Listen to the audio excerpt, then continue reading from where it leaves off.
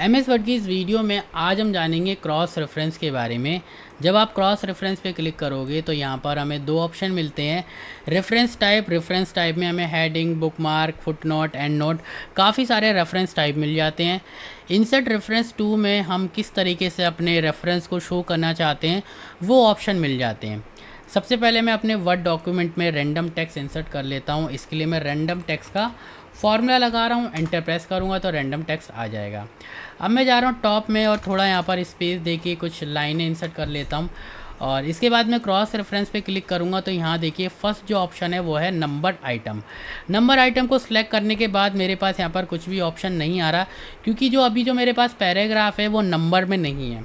तो पैराग्राफ को नंबर में कन्वर्ट करने के लिए मैं जाऊँगा होम टैब में और यहाँ पर मैं अपने इन दो पैराग्राफ को सिलेक्ट कर रहा हूँ। और यहाँ देखिए नंबरिंग ये नंबरिंग का ऑप्शन होता है, इस पर हम क्लिक करेंगे तो ये जो हमारे पैराग्राफ है, ये नंबर में कन्वर्ट हो जाएँगे। देखिए वन टू ठीक है?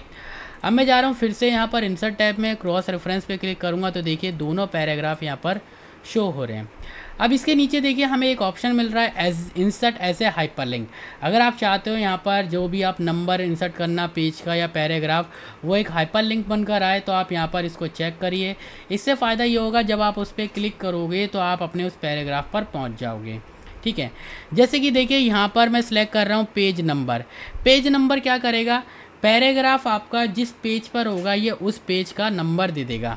तो ये जो पैराग्राफ है दोनों, ये मेरे पहले पेज पर है, क्योंकि मेरे पास अभी एक ही पेज पर है। तो यहाँ पर वन लिख कर आ जाएगा, ठीक है? यहाँ पर वन लिख कर आएगा। और यहाँ पर देखिए, मैंने insert as a hyperlink कर रखा है, इसको चेक तो वो हाइपर लिंक बनकर आएगा। पेज नंबर इंसर्ट पे क्लिक करा तो देखिए यहाँ पर पेज नंबर आ गया वन।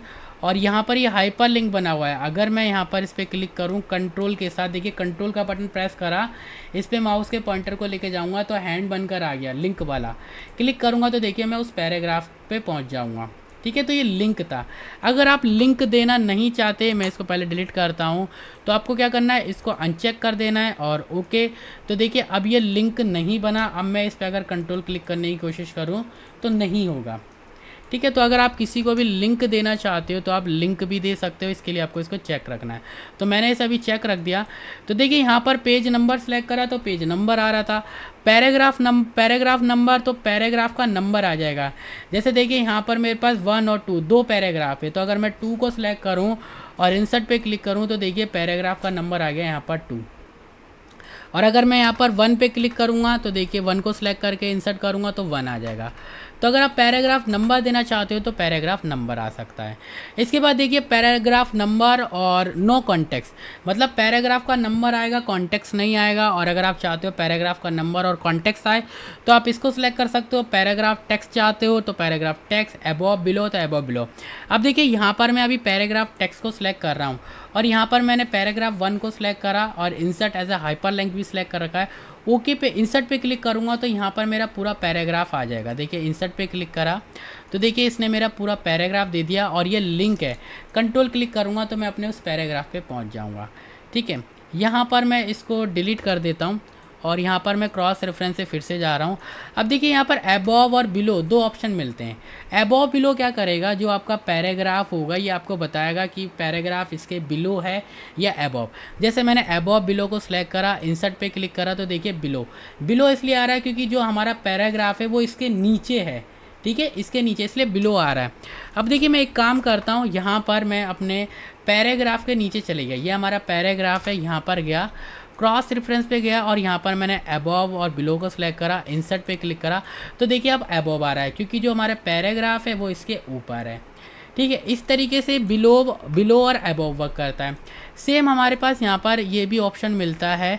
जैसे कि देखिए, अभी एबोव बिलो को सिलेक्ट करा तो यहाँ पर ये इंक्लूड एबोव बिलो हाइड है। लेकिन यहाँ पर मैं पेज नंबर को सिलेक्ट कर रहा हूँ और इंक्लूड एबोव बिलो का अगर मैं चेक करूँगा इंसर्ट पे क्लिक करूँगा तो यहाँ पर हमें बिलो और एबोव यही ऑप्शन देगा। तो यहाँ पर मैं इसको अभी अनचेक कर रहा हूँ, ठीक है? यहाँ से भी आप इंक्लूड कर सकते हो और यहाँ से भी एबो बिलो इंसर्ट कर सकते हो। तो ये हमारा नंबर लिस्ट था।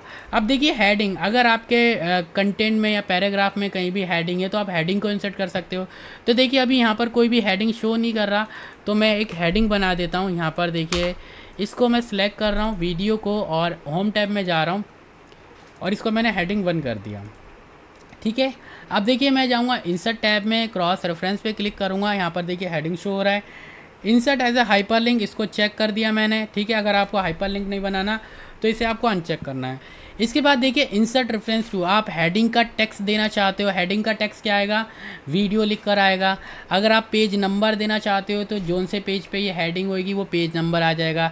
हेडिंग का यहाँ पर आप no context full context above below देना चाहते हो तो ये सिलेक्ट कर सकते हो। तो यहाँ पर देखिए हेडिंग का जो टेक्स्ट है, यानी जो वीडियो है, वही लिखा हुआ आए। तो मैंने देखिए, यहाँ पर इसको हेडिंग टेक्स्ट करा। इंसर्ट पे क्लिक करा तो देखिए, यहाँ पर वीडियो लिख कर आ रहा है। कंट्रोल क्लिक करूँगा तो देखिए मैं उस हेडिंग पे पहुँच जाऊँगा। ठीक है तो ये हमारा हेडिंग था। इसके बाद देखिए हमारे पास इसमें और क्या ऑप्शन है, उसको देखते हैं क्रॉस रेफरेंस पे चलते हैं। बुक मार्क तो अगर आपने कुछ बुक मार्क वगैरह बना रखे हैं तो आप वो भी दे सकते हो। तो बुक मार्क कैसे देंगे? जैसे कि इस पैराग्राफ पे गया, मैं रीडिंग इज़ ईजियर बुक मार पर मैंने क्लिक करा और यहाँ पर मैं लिख देता हूँ, मैं रीडिंग लिख देता हूँ, ठीक है? इसका जो फ़र्स्ट वर्ड है, मैंने पैराग्राफ का वो लिख दिया। ऐड पे क्लिक करा, वो ऐड हो गया, मैं दिखा देता हूँ बुक मार्क क्लिक करके, देखिए रीडिंग ऐड हो गया। इसके बाद देखिए, मैं जा रहा हूँ यहाँ पर क्रॉस रेफरेंस पे और यहाँ पर मैं पेज नंबर सेलेक्ट कर रहा हूँ इंसर्ट पे क्लिक करूँगा तो देखिए यहाँ पर पेज नंबर आ गया और पेज नंबर हमारा वन है, क्योंकि मेरे पास देखिए यहाँ पर अभी एक ही पेज है। एक से ज़्यादा पेज होंगे तो आपके पास पेज नंबर वो आ जाएगा, इसमें कोई बड़ी बात नहीं है। यहाँ पर मैं आपको एक ही पेज लेके ही बता रहा हूँ सिंपल ठीक है? क्रॉस रेफरेंस पे चलते हैं। बुक मार के बाद हमारे पास है फुट नोट तो अगर आपने फुट नोट लगा रखा है तो आप फुटनोट को भी रेफरेंस बना सकते हो endnote equation figure table तो मैं आपको फुटनोट भी एक बार लगा के दिखा देता हूँ, ठीक है? तो फुटनोट कैसे लगता है? जैसे कि यहाँ पर देखिए, मैं अपने इस पैराग्राफ पे गया, मैंने अपने इस पैराग्राफ को सिलेक्ट कर लिया। इसके बाद हम जाएँगे रेफरेंस में। रेफरेंस में देखिए, हमें यहाँ पर एंड नोट और फुट नोट दो ऑप्शन मिलते हैं। यहाँ पर मैंने फुट नोट पर क्लिक करा तो देखिए फुट नोट जो होता है, हमारे पेज के लास्ट में लगता है। और जो एंड नोट होता है, वो हमारे पूरे डॉक्यूमेंट के लास्ट में लगता है। यानी अगर आपके डॉक्यूमेंट में पाँच पेज है तो आपका जो एंड नोट होगा, वो पाँचवें पेज पर होगा। और फुट नोट जो होता है, वो आपके सभी पेज के एंड में लगता है, सभी पेज के। और एंड नोट आपके डॉक्यूमेंट के सबसे लास्ट के पेज पे होता है। तो देखिए, ये मेरे पास एक पेज है, यहाँ पर मैंने फुट नोट लगा दिया, मैंने यहाँ पर लिख दिया फुट नोट ठीक है? फुटनोट लगा दिया। अब देखिए, मैं इस फुटनोट को इंसर्ट करना चाहता हूँ तो यहाँ इंसर्ट पे जाएँगे। क्रॉस रेफरेंस और यहाँ पर मैं फुटनोट को सिलेक्ट कर रहा हूँ, ठीक है? और यहाँ पर मैं इंसर्ट पे क्लिक कर रहा हूँ तो देखिए पेज नंबर आ गया। यहाँ पर अगर पेज नंबर का ही ऑप्शन दे रहा है, यहाँ पर इसके अलावा एबो बिलो का ऑप्शन दे रहा है। ठीक है तो इस तरीके से आप फुट नोट को भी लगा सकते हो एंड नोट को भी लगा सकते हो। आपने अगर इक्वेशन दे रखी है तो इक्वेशन दे सकते हो। फिगर टेबल इन सभी चीज़ों को आप यूज़ कर सकते हो क्रॉस रेफरेंस में। तो आई होप आपको क्रॉस रेफरेंस समझ में आया, कोई डाउट हो तो कमेंट कर देना। मिलेंगे नेक्स्ट वीडियो में, जब तक के लिए bye bye thank you and take care